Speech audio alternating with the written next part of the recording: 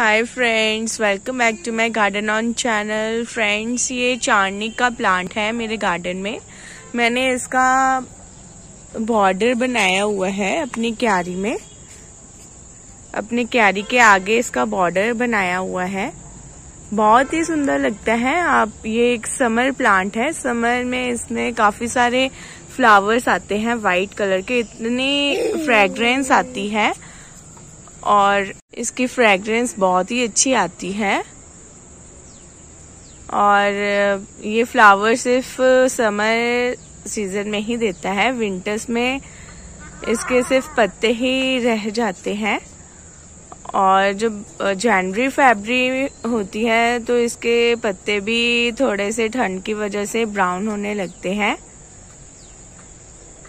और ये आपका, जैसे आप विंटर्स में इसको लगाते हो तो ये समर में पूरा आपका बॉर्डर तैयार हो जाएगा रेडी हो जाएगा।